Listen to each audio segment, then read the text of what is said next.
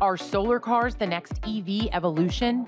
Decades of work on a solar car moonshot is slowing, ceding to a more pragmatic approach smaller, lighter, cheaper systems built to subtly augment electric driving rather than power a road trip in full. The sun is hard to ignore as it never stops showing up.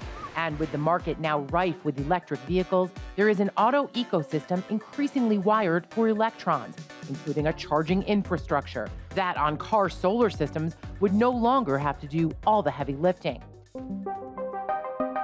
As far as cost, solar panels have steadily become both cheaper and more efficient.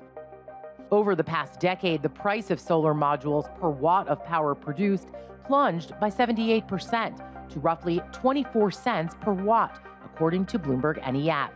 At that rate, a panel array the size of a sedan has dropped from $222 to just under $50. Currently, Toyota sells a solar roof as an option on its Prius hybrid. At Hyundai, meanwhile, a solar roof option is available for its Sonata sedan, and the company is drawing up plans to add solar panels to the Ioniq 5, its breakout EV. And what about Tesla? Elon Musk has stated he believes the car is one of the least efficient places to put solar. That said, Tesla is pursuing an option for its Cybertruck owners to add solar, integrated into the cover of the pickup bed and possibly as unfolding wings.